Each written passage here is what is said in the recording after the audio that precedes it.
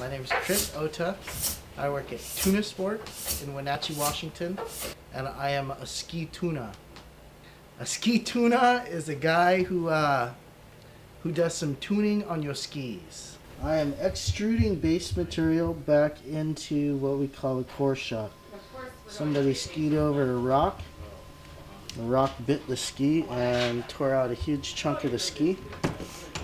And now I am trying to put the base back into the ski basically. And this is a uh, this is a pretty common thing at Mission Ridge.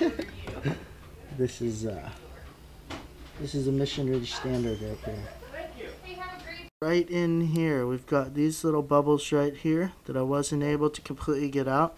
You can see the surface is a little rougher and out here, which is just an indicator that it's gonna need a little more attention. And then this little tool right here basically just kind of pushes all the air bubbles out, spreads it out, and at the same point acts as a cooling agent.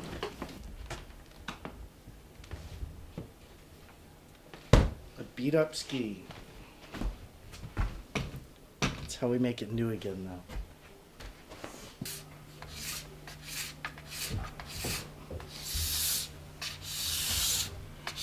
The most important part of ski and snowboard maintenance, in my opinion, is waxing, waxing, waxing. If we allow the base of the ski to, or the snowboard to actually dry out, we're starting to damage the core materials of the ski. Um, and the core materials of the ski are the most vital parts of the ski. Yours is a KJ, so yours is thirty pounds. Sorry. I shouldn't have that. I could have thrown that in a straight face. It's rock. Yeah. On a really busy day, it's a uh, it's a never-ending task because um, every pair of skis we do, we make some sort of a little mess.